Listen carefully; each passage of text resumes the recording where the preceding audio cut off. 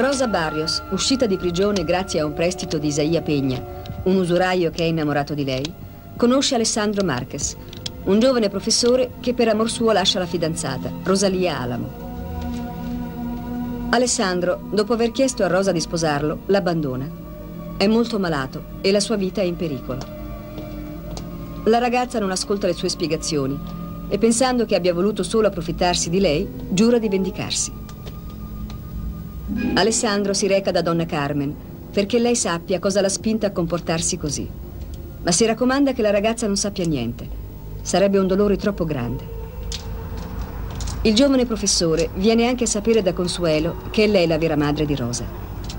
Intanto Isaia, sempre più nei guai con Rivadavia per un affare andato a monte, per salvarsi la vita decide di uscire dal paese, ma Teodoro, suo braccio destro, che dovrebbe aiutarlo ad espatriare, lo tradisce. Le condizioni di salute di Alessandro peggiorano.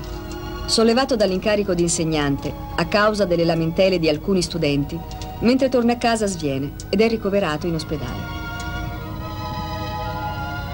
Isaia intanto viene ucciso e i sospetti si accentrano su Teodoro. Magali è presente al delitto e disperata si reca da Consuelo dove trova anche Don Adolfo.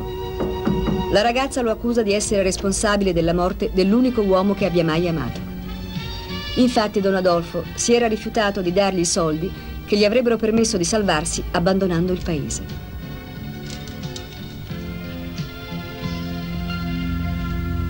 vez no pudo ser.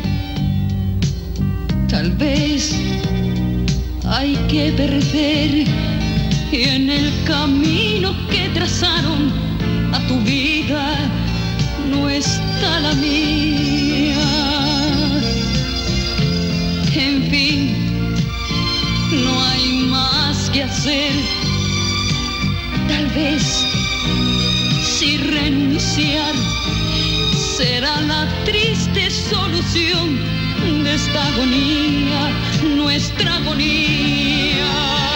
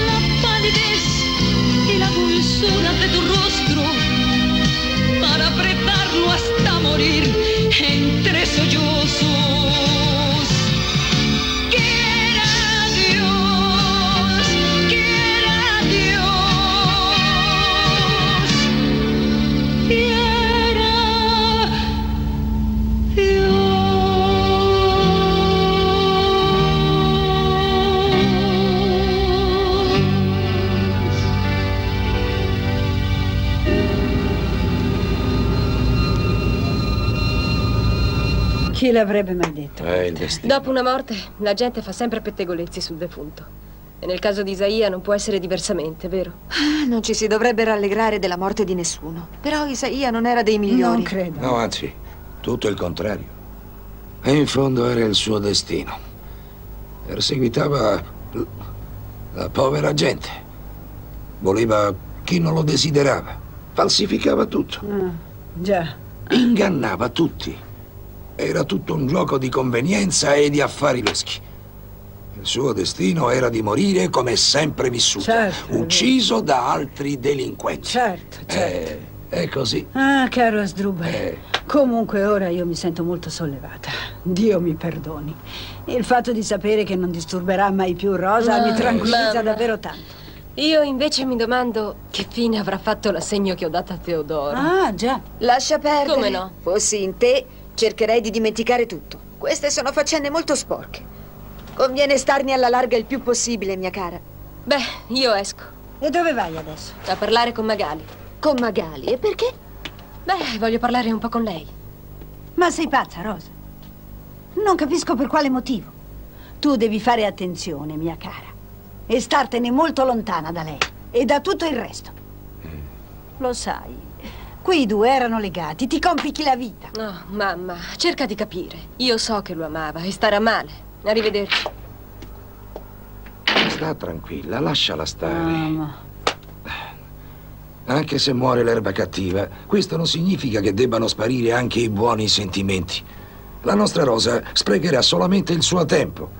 Tutto qui, non le succederà niente. Da retta a me e sta tranquilla. Senti, Magali, lo so che non è il momento più adatto per farti certe domande, però io non riesco a rendermi conto. Ma come hai potuto amare così tanto quell'uomo che ti ha fatto solo del male? Non lo so, Beatrice. Tu credi che mi abbia fatto solo del male? Beh, in parte forse è vero. Però devi cercare di capire, lui è stato il mio primo amore e in un certo modo mi ha aiutato. Aiutarti per lui significava coinvolgerti in quello squallido ambiente. Quello era il suo ambiente, Beatrice, l'unico mondo che conosceva. In fondo lui sapeva che eravamo uguali, che vivevamo nello stesso mondo e delle stesse cose. Ascolta, fidarsi di me mischiarmi nei suoi affari era un modo di amarmi. Ti amava soltanto perché gli facevi comodo. Sì, io lo capivo. Capivo la sua angoscia, il suo egoismo, il suo bisogno di fama e di denaro. E lo aspettavo sempre. Lo amavo, lo aiutavo. Lui era tutto per me. Il fatto che venissi a trovarti solamente quando si trovava con l'acqua alla gola è molto significativo, non credi? Sì, è vero. E questo suo ultimo gesto per me è stato molto importante. Gli sarò grata per sempre di questa prova di fiducia verso di me. Avanti! Salve. Ciao Rosa, come va? Bene, Stammi un po' a sentire, carina. Che sei venuta a fare qui? vorrei parlare con te, Magali. Io non ho proprio niente da dirti. Per colpa tua hanno ammazzato Isaia, per colpa tua lo hanno assassinato. Fuori di qui, fuori!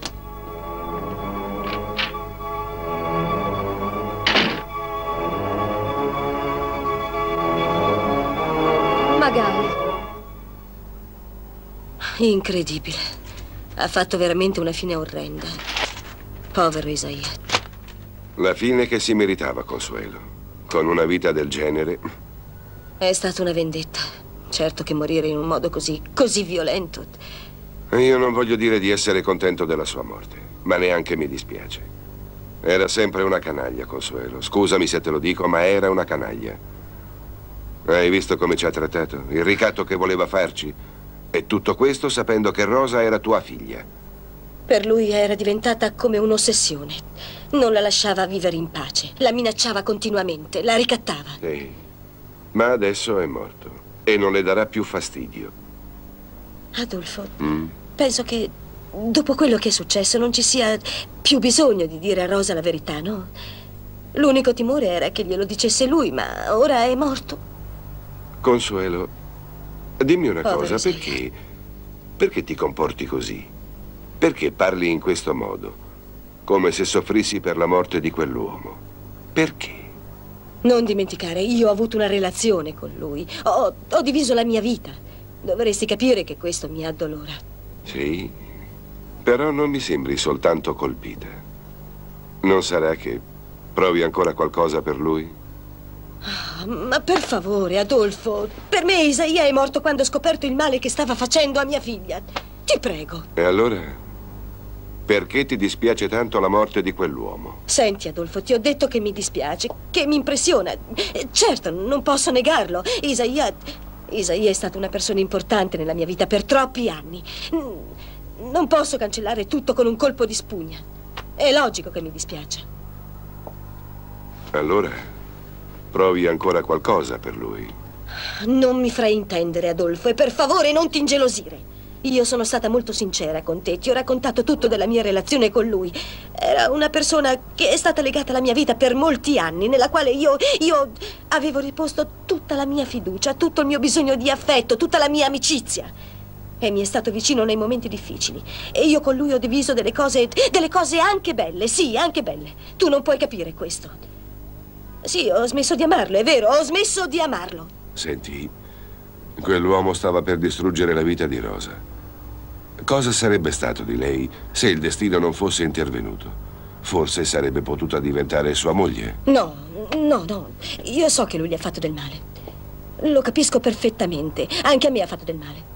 Però non posso smettere di pensare che sia morto in quel modo, capisci? Non posso dimenticarlo.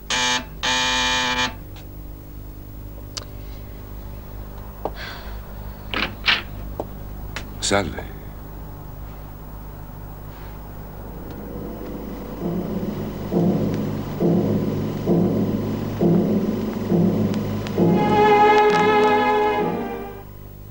Come si sente? Ah, meglio, grazie. Il dolore alla testa non lo sento più tanto. Sì, le stiamo somministrando un calmante molto potente. Mm, capisco. Dottoressa, le chiedo per favore di essere franca con me. È, è importante che io sappia qual è la situazione della mia malattia. Io desidero che lei mi parli sinceramente. Non sono un bambino e ho bisogno di sapere la verità. Sì, ha ragione. Le parlerò con franchezza. Il lupus è una malattia che si manifesta in vari modi. In certi casi provoca dei dolori alla testa molto forti e violenti. Tanto forti da provocare degli svenimenti. In seguito può provocare una forte anemia che va controllata. Possono presentarsi anche altre manifestazioni esterne, ma per ora non ci interessano. La caduta dei capelli e le macchie rosse sulla pelle. Sì, però quello che ci preoccupa ora è bloccare l'insufficienza renale. Dobbiamo impedire che la malattia attacchi gli organi interni e controllare l'anemia. Dottoressa, mi dica quando potrò tornare a casa. No, questo per ora non è possibile. Il calmante che le ho dato le ha tolto il dolore, però devo tenerla sotto stretto controllo. Può tornarle una crisi. Cerchi di avere pazienza. Lo so che è difficile, ma deve farlo per il suo bene, mi creda. La sua malattia è molto grave e può essere letale. Tornerò più tardi. D'accordo, grazie.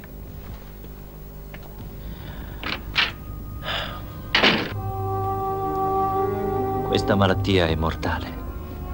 È inutile che mi faccia delle illusioni. Morirò presto. Loro cercano di farmi credere che può esserci una possibilità di salvezza, ma non è sicuro. Rosa, amore mio, sapessi quanto desidero averti qui accanto a me. No, no, io non posso costringerti a soffrire con me, ma non voglio neanche abbandonarti, lasciarti dubitare del mio amore.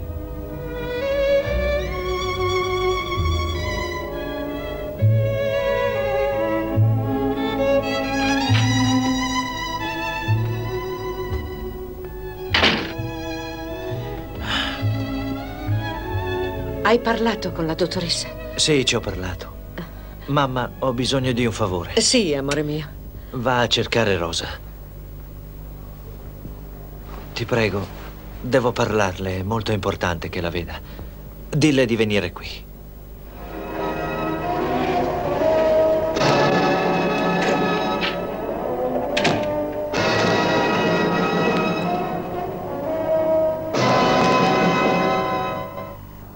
Ti sorprende vedermi qui, Rosa? Non dovresti. Io e Consuelo siamo carissimi amici. Beh, sì, mi ha sorpreso, ma niente di particolare. Come stai? Bene, tesoro, tu? Bene. Come mai qui? Beh, sono venuta a portarti una notizia. Ah, il fatto di Isaia. Sì, lo sapevi già? Mm. Immaginavo. Questo tipo di notizie volano. Beh, non so, credevo ti dispiacesse molto di più. È vero, ma con la vita che faceva uno poteva anche aspettarsela una fine simile. Non possiamo pretendere che le cose vadano sempre come vogliamo noi. E questo è accaduto a Isaia. La sua caparbietà non gli ha mai permesso di ascoltare i consigli. Mhm. Sì, tutti commettiamo degli errori nella vita. L'importante è ravvedersi al momento giusto e avere il coraggio di cambiare dentro. Comunque, Rosa, tu devi sentirti tranquilla. Adesso finalmente hai la certezza che non potrà più infastidirti. E questo è un sollievo per tutti quanti. Ma io veramente non lo so. Ma come? Come non lo sai? Qualcosa ti preoccupa? Sì, è così. Sono andata da Magali perché pensavo che stesse molto male. E lei mi ha detto che Isaia è stato ucciso per colpa mia. E io non riesco a capire. Che colpa ne ho io, Consuelo?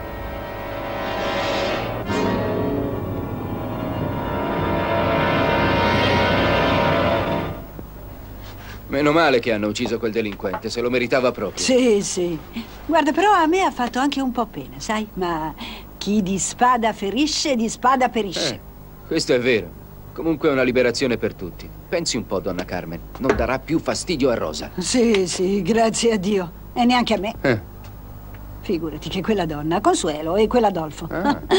mi avevano chiesto di raccontare tutta la verità a Rosa. Perché Isaia li stava ricattando. Pensa un po'. E ora? Beh, ora non sono più costretta a raccontarle niente, per fortuna. Ormai è una storia chiusa. E invece, cara mia, secondo me dovrebbe dirglielo. No, io. Per vederla soffrire, no, no. Per complicarle la vita, no, mio caro, no, no. Ora con la storia di Alessandro soffre già abbastanza. Perché darle altri dispiaceri? No, per carità, neanche per sogno. Bene, io vado. Aprimi, per favore, vediamo un po' chi sarà adesso. Buonasera. Buonasera. Salve. Desidera, signorina? Abita qui Rosa Barrios? Sì, sì, ma adesso non c'è. Vuole accomodarsi? Beh, sì, grazie. Posso offrirle un caffè, una bibita, non so. No, grazie, signore. Bene, donna Carmen, io adesso me ne vado. Va A bene, presto. Diego. Ciao, Arrivederci, grazie. signorina. Buonasera. Chiudi la porta, per Sì, favore. certo. Lei è un'amica di Rosa? Beh, ecco, non proprio. Sono una conoscente, signore. Ah. Tarderà molto sua figlia? No, sarà qui da un momento all'altro. Eh, Prego, si accomodi. Ciao, mamma. Ciao, amore. Ah, Rosalia, che ci fai qui? Sono venuta a parlarti di Alessandro.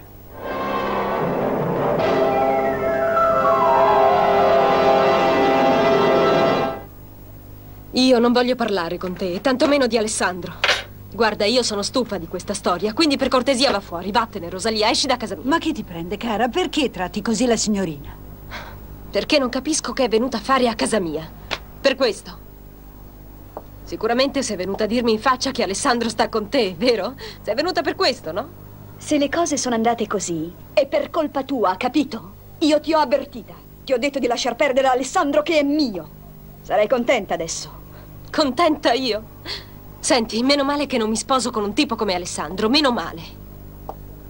Ti sei resa conto, Cocca, che Alessandro voleva solo divertirsi con te?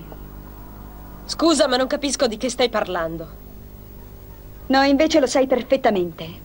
Sei stata proprio una scema. Io te l'ho detto quando sono venuta a parlarti a scuola di toglierti di mezzo e lasciarlo in pace perché tanto lui si sarebbe sposato con me.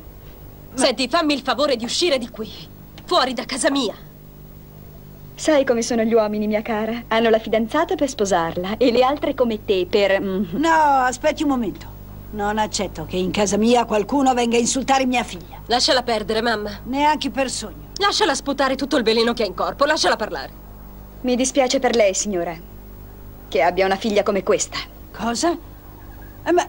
Senti, fammi il favore di andartene subito di qui. E ti dirò un'altra cosa. Il tuo caro Alessandro te lo regalo impacchettato e infiocchettato dentro un enorme uovo di Pasqua.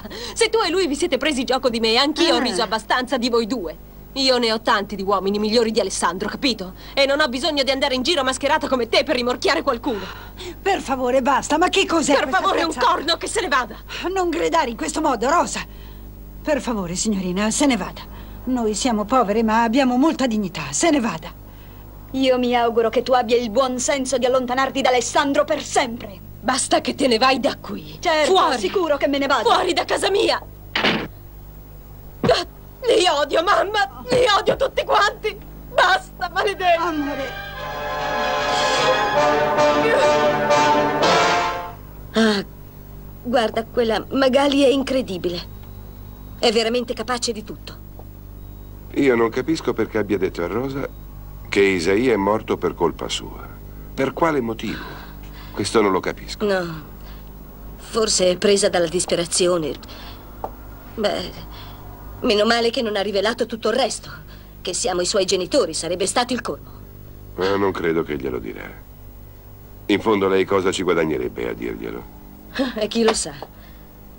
Forse perché non gli hai dati soldi per chiudere la bocca a Isaia e adesso vorrà ricattarci. Ah, sta tranquilla, Consuelo. Senti, non voglio continuare a parlare di un morto. Non voglio più sentire nominare Magali e non voglio parlare di niente che abbia relazione con questa gente. Perdonami, Adolfo, hai ragione, però vedi, io sono così angosciata da quando è venuta Rosa e ci ha detto che quella le ha dato la colpa della sua. No, no. Temo che quella disgraziata le dica tutto, capisci? Ti prego, adesso basta, eh? Sì, va bene. Può darsi che sia come dici tu. E poi cosa ci guadagnerebbe? Magari è rinvischiata con Isaia, non con Rosa. Già, adesso smettiamola, d'accordo? Senti, Consuelo, devi tranquillizzarti. Tutto questo sta diventando come un'ossessione. Calmati, amore. Sì, hai ragione. Sono talmente scossa che non riesco a togliermi Isaia dalla testa, credimi. Ah, scusami, amore mio, ti prometto che non ci penserò più. hm? Così va meglio. Ascolta, noi due abbiamo tante cose di cui parlare. È vero. Oh, Adolfo, non ce la faccio, non ce la faccio. Lo so che ti dà fastidio, ma non posso fare altrimenti, sono così. Prima leggo la notizia sul giornale, poi viene Rosa e mi racconta il fatto di Magali. Io vivo col terrore che quella disgraziata le dica tutto. So, amore, vieni qui vicino a me. Calmati un po' fra le mie braccia, va bene? Amore, sembri una ragazzina spaventata. Come quella prima notte, ti ricordi? Sì. Ora sono qui io, vicino a te per proteggerti. Io capisco cosa provi. Scusami, tesoro. Comprendo la tua agitazione, ma sono sicuro che col tempo ti passerà. Dimenticherai questa brutta storia. Io farò in modo che la dimenticherai. Te lo prometto, Consuelo. Vedi, Adolfo, io lo so, ma... Ascolta, io ti amo, Consuelo. Sono molto innamorato di te. Questa è l'unica cosa a cui devi pensare. L'unica. Dai, ti prego, fammi questo piccolo favore, Marcello. Vai a casa di Rosa a cercarla. Dille che Alessandro vuole parlarle. Sì, va bene, ma quella ragazza deve essere furiosa. E non ha torto, lo so. Alessandro non avrebbe dovuto lasciarla in quel modo senza spiegarle la verità. Però ti prego, vai. Io non voglio lasciarlo solo qui. Va Avanti. bene, non ti preoccupare, Angela. Sì? Sì. Grazie, caro.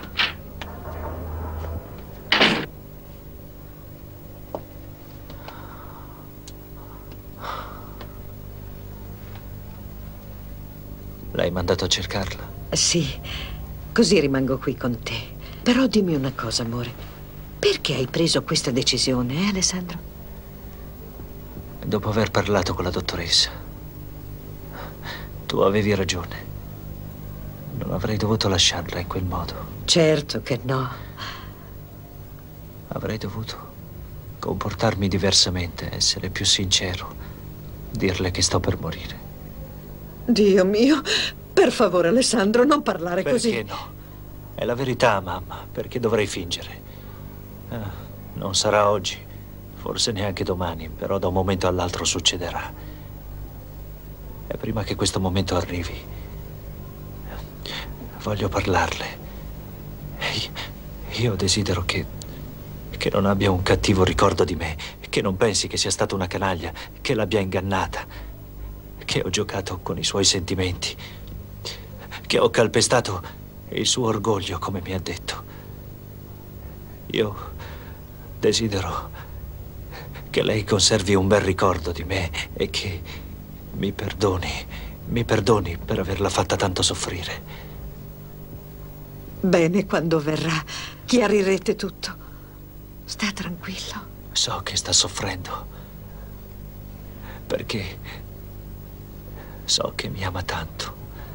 Sai, mentre mi insultava al bar vicino a scuola, mentre diceva di odiarmi, io so che cosa stava provando. Si era sentita offesa e soffriva tanto. Solo per questo mi ha detto quelle cose. Ah, sono felice che tu abbia preso questa decisione, amore mio, perché vedi, quando si ama, si ama nella buona e nella cattiva sorte. E per una donna è molto doloroso che non la credano capace di condividere i momenti difficili. Sì. Lei ha tutto il diritto di stare qui, insieme a tutti quelli che ti amano. Lo so.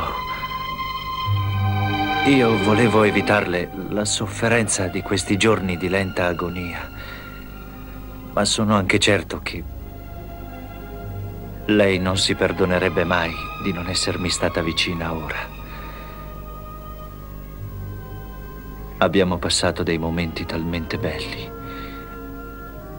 dei momenti talmente felici, talmente importanti per tutti e due. Sai, mamma, lei ha sofferto tanto. Non ha mai conosciuto suo padre. E io non voglio che questa storia si ripeta. L'amo troppo e non voglio farla soffrire.